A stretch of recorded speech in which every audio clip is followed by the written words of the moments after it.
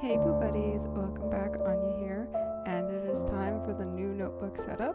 I am joining the Archer and Olive bandwagon, and I got this was my Christmas present uh, last December. I got the Archer and Olive Bats uh, special edition for Halloween, and I've got to go with it a black flame candle, which I dig on for this vibe of he makes fire in his hand, and I, yes, must make fire in the hand light the black flame candle, and let's get started on setting up a new notebook. Let's also get a fresh pen and set this notebook up right. No faded or smudgy lines. We like a nice crisp line. The first page to deal with is the This Book Belongs To. I'm not a big fan of this page. I know this book is mine. Everyone knows this book is mine. Um, I've never lost a planner or a journal, so I don't really care. So I'm going to go ahead and use some black craft paper and a sticker from one of my favorite Society 6 artists. I will link their shop in the description below. Love their work. Always, it's always ghouly. It's always cute. It's just the perfect soothy vibes. And I need that. I need that in my planner and I need that in my journal. The next page to deal with is the opening page, and if you are familiar with new journals, they are always very tight and kind of useless, so I just like to paste them together. Just get it out of the way. We don't have to worry about it now. This next page is where a lot of bullet journals like to put in their grid spacing guide. I have found that I don't use a grid spacing guide. I tend to use a lot of the same layouts over and over again, but this is a new journal for me, and I'm not familiar with the um, number of squares. So I am going to do some formatting here on this page and do a count of how many squares down, how many squares across. Uh, but when it comes to doing my layouts, I, I just count. And a lot of people find the grid spacing helpful. I don't, because um, I end up just counting anyway. So no real point, or I just use the same counts over and over again once I get familiar with the notebook. So I'm just going to go ahead and count how many squares across, how many squares down, and give myself a little cheat sheet here. And then I'm going to use the rest of this spread for formatting, but not for my bullet journal. So just little cheat sheets, uh, little places where I can just gather things that I will use over and over again. So like, first of all is going to be my stationery list where I make a list of all the stationery that I am out of. So when back to school season comes and all the things go on sale, I can Um, and that also that also keeps me from buying stationery throughout the year when I don't need it. I just wait for one time a year when everything's on sale and I look around and if it's available, I get it. And if it's not, I just hold out or I find something else. Um, and then books, I've been actually uh, decluttering my space, but there's always that book that you have to have and you can't just get it from the library you have to have your own copy. So it's good to have a little running list there. For my next little format list I needed some scrap paper and I decided to go ahead and use the paper that the journal comes wrapped in. When it comes fresh it's always wrapped in that nice clean paper. It's like what do you do with this? And I needed some paper so this worked out perfectly. So these lists, uh, they're just things that I need to keep notes on and little notes that I need to keep a list, running list on. Uh, and I decided to make it look, I don't know, um, pretty to go with the notebook. So the first one is just like this little, uh, like a like a library, old school library pocket, uh, and then it needed a list that would come out of it, and that made me happy. I think I glued the wrong end and it wasn't working quite right, but it still makes me happy.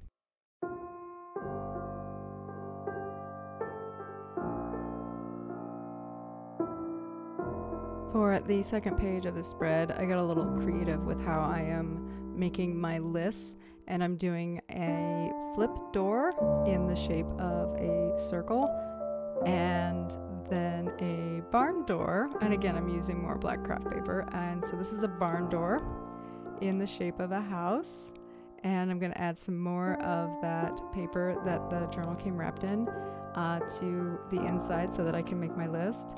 Uh, and then, so it kind of has that uh, haunted house full moon look going on. What I should have done, what I should have added is a taken on a paint pen, a white paint pen, and drawn a bat going across the moon so that it really came together and had some some uh, something extra to it. So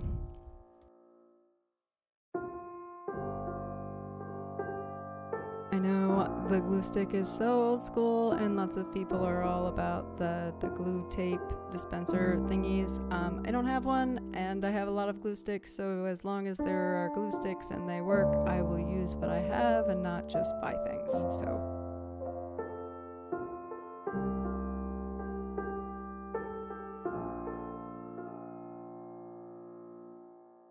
To finish this off and really bring everything together, I use some extra fancy stickers a uh, to kind of label what these lists are for.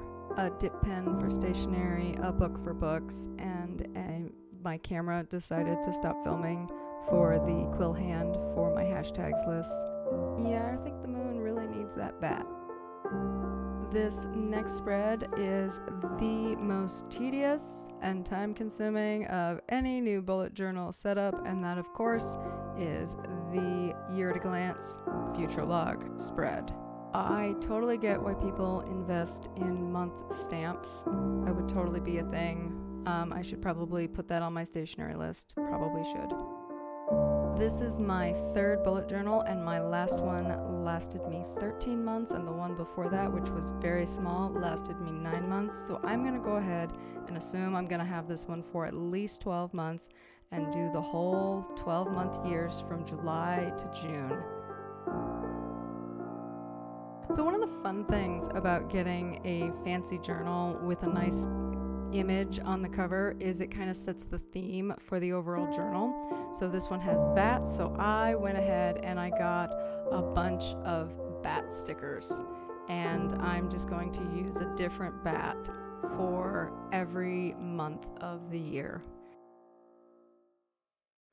Back when I used a pre printed planner, I didn't ever use a year glance for anything except it took up space. Uh, but now that I use a custom planner that I have to do the month myself every every month, uh, it really helps with keeping track of future dates, especially like doctor's appointments and things that are more than one month later uh, in the future. And I've really come to use this a lot. So it needed to be pretty and it needed to fit the overall arching theme of bats. So that is the rest of 2021, and now to do the first six months of 2022.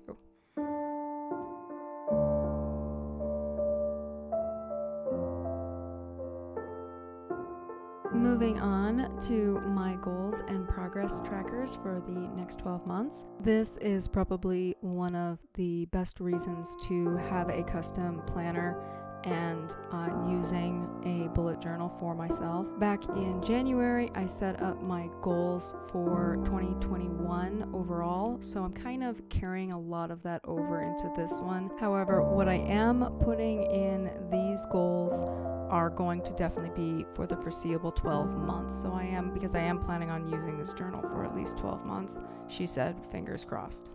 The thing that I have found that has been absolutely very helpful beyond anything else is actually making these boxes or clumps of categories for different areas of my life and then separating out the goals into those categories. It really helps me stay organized and also see just how much of goals I'm doing, but also uh, where I'm focusing, which is why the boxes are different sizes and in some cases slightly awkward shaped. Uh, but it helps show like how many goals I'm doing for my personal life, my writing life, my art life, my uh, side projects, and also limits how much I can set for myself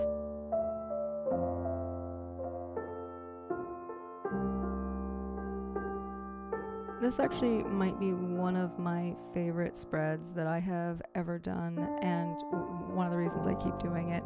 I love filling it out. I love setting goals. I love setting big goals and then breaking them down over time. And anytime that I'm setting up uh, for the, the week or the month, and I'm going, I don't know what I'm doing, I don't know what I should be doing, I always flip back to this page and I look at what uh, what else did I want to do? What else was I hoping to achieve? And sometimes it changes and I go, "Oh, that's not going to happen," or "Oh, I don't care about that anymore."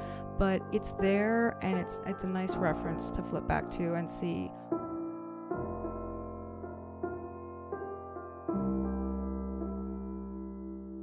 This is definitely not an ornate spread. It's very straightforward and very easy to read throughout the year.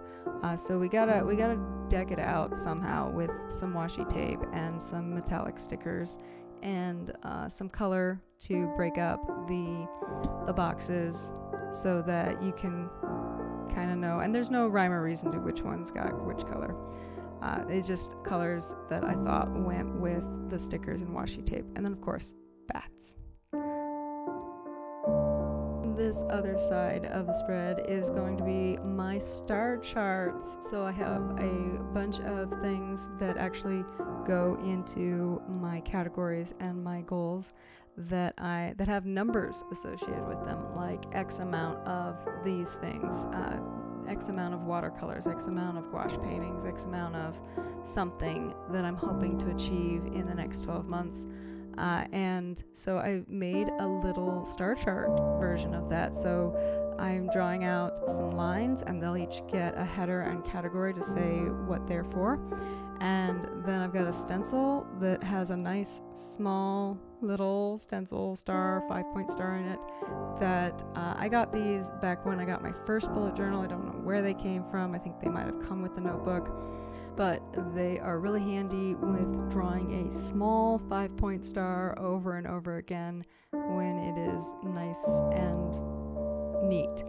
And uh, so as I fill in uh, and do whatever the categories are a, a poem, a, a watercolor, I get to color in one of the stars that is there on the star chart. So just like we did back in kindergarten, lovely little little star chart. So this is kind of a blank black and white setup right now with a bunch of stars, but hopefully by the end of the year or hopefully sooner than the end of the year, it will be full of lots of colorful stars that are all filled in. I haven't decided on amounts for all these different categories yet, so I just started by putting in five stars to each for now. And then once I have a set number, I'll go back later with the stencil and draw in the correct number of stars. And if I exceed the number of stars, yay, wouldn't that be wouldn't that be overachieving?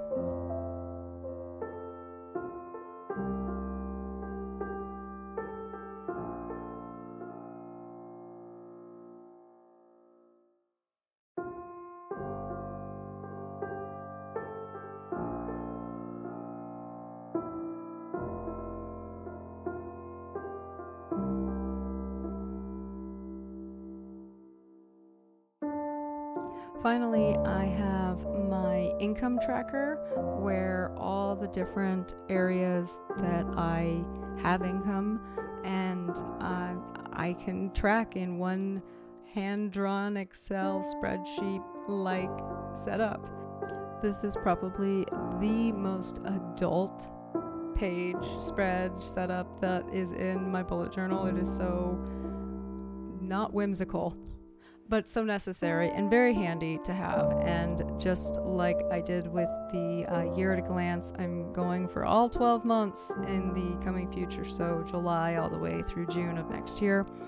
And here's hoping that I actually use this journal all the way through because I really don't like setting this up. I, I would rather get a lot of use out of it. Uh, this is almost as tedious as the year at a glance. I really don't like filling my bullet journal with excess whimsy pages. I know they're a lot of fun. Uh, that's just not how I like to use my planner. I don't like cover pages or quote pages. They end up taking a lot of time and energy and planning, and they're really fun and they're really pretty. And no disrespect if that is your thing, I am not criticizing it, it's just not my thing because I never turn back to them. So I spend all this time and energy on them, and then I never look back on them, and it's just taking up pages that could be used for something that I do turn back to. So that is really something, if you hadn't already picked up on, uh, I am really only trying to do spreads that I actually use and have a reason to keep turning back to. I hear a lot of fellow bullet journal peeps like me uh, say things like, oh, I have to do my quote page, I have to do my cover page. And I'm sitting here going, no, you don't. It's a custom planner. You don't have to do anything that you don't want to just because it's on trend and everybody else seems to be doing it. Um, I'm not doing it, and I hope that if it's not something you want to do and you needed the the affirm that other people don't all do it. Here I am. I don't all do it. We don't all do it. Uh, we we do all do different things. It's a custom planner, and that's the beautiful thing about it is it's custom to what you need and what you want. So that all being said, I absolutely love the creative things that people do in their bullet journals, and I dig on all that. I just tend to do it all in a separate art journal specifically for that creative outlet. And I know a lot of people really like having their creative outlet and their scrapbooking area. So a lot of people do like memory pages or playlist pages and cover pages and really fun things so that it's all in the same notebook with their planner. That is just not how I roll. I like to keep them in separate planners so that when I am doing my planner stuff, it's all in one space, nothing else in between, and all my creative stuff is its own thing, and I dig on that. To bring some flair to this otherwise very boring adult spread, uh, we needed some metallic bat washi tape. Just because we're being practical doesn't mean we can't have flair. And when my spreads are really all filled in, you can definitely see a lot more flair because I do use them to be more creative ongoing and not just during the setup process. We're ready for a flip through to see all the wonderful things that we did. I'm so happy to have a spooky journal that is custom for me, both inside and outs. I love the bat theme that is going on in my overall journal. And uh, if you enjoyed this, please give me a thumbs up or leave a comment and tell me if uh, you'd like to see the spreads all filled in at the end of the year. Having your feedback really helps me make better videos for you. Thank you so much for watching, Boo Buddies. I will see you next time.